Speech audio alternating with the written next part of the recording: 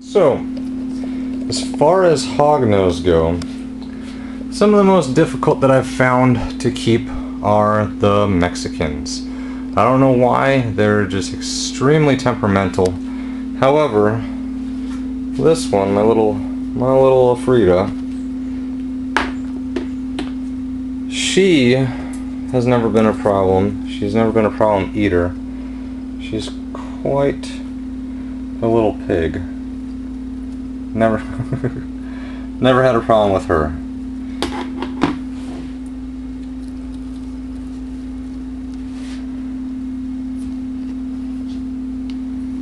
I got her at an expo probably hmm, going now man three four years ago which is very confusing to me because I keep quite a few hogs but as you can see how big she is she's not a skinny like for her size but she is small for her age. Knowing that she's four to five years old and she's under probably, yeah, under 150 grams still. She's eaten every week since I've had her, no problem. And she's been a really, she's been really calm. Um, once she knows it's you, she'll, she won't try to bite you or anything like that.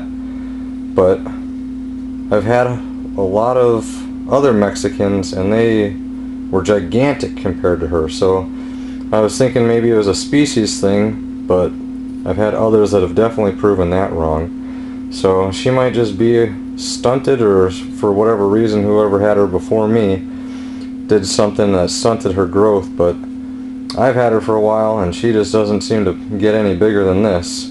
Even though you can see she doesn't have problems finding those mice and sucking them down. I actually have another, my, oh, I want you to fall off your little one. I have my, my male Mexican in this one. I actually put a, a blue lid on his container because he is so spastic. If, if he sees you in the room, he is just gonna hiss and throw shit everywhere. So to avoid that, I've kind of put a little bit of a a color barrier so it's not as much uh, visual for him but he works himself up so much that he won't eat for a month at a time but nothing like her so um, the Mexicans that I've, I've had for the most part they've been very spastic. I've had a few calm ones but a few just over the top belligerent ones. She's been awesome though